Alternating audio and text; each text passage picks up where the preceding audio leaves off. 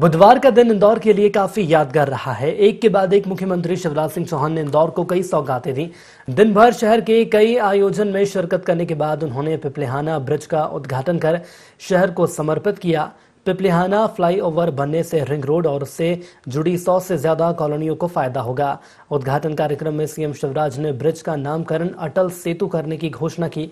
वहीं इस दौरान सांसद शंकर लालवानी ने शहर में पाँच और फ्लाईओवर बनाने की सीएम से मांग की है, जिस पर सीएम ने बिना देर किए सहमति दे दी। सीएम शिवराज ने सांसद शंकर लालवानी को फ्लाईओवर मैन के नाम से संबोधित किया। पिपलिहाना ब्रिज के उद्घाटन कार्यक्रम में क्षेत्रीय विधायक महेंद्र हार्डिया समेत स्थानीय रहवासी मौजूद रहे।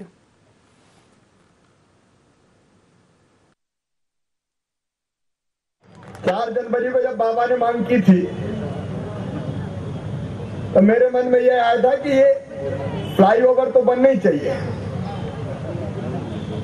इसके बाद जून में शिलान्यास हुआ। तब हमने तय किया था कि उद्घाटन भी हम ही करेंगे। अब बीच में सवा साल का वनवास आ गया। और तब जो आए,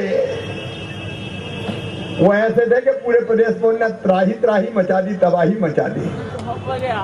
लेकिन मामा तो ये सोच के कहते कि अब तो पाँच साल की छुट्टी। लेकिन तब तक ये वो फ्लाईओवर बन के तैयार हो गया। तो मामा फिर लौट के आ गए। और आज मुझे खुशी है कि आज इस फ्लाईओवर का उद्घाटन अपने साथियों के साथ में कर रहा हूँ। ये फ्लाईओवर आपको समर्पित करता हूँ, प्रिय बहनों और भाई